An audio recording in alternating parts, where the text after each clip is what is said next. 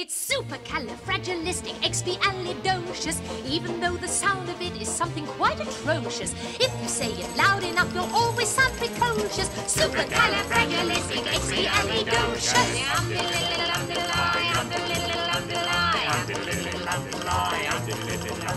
Because I was afraid to speak when I was just a lad.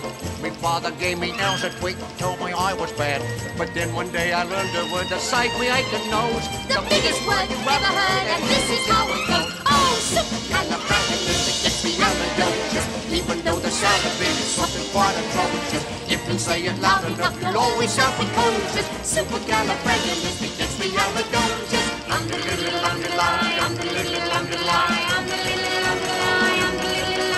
He travelled all around the world, and everywhere he went, he'd use his word, and all would say, "There goes a clever gent."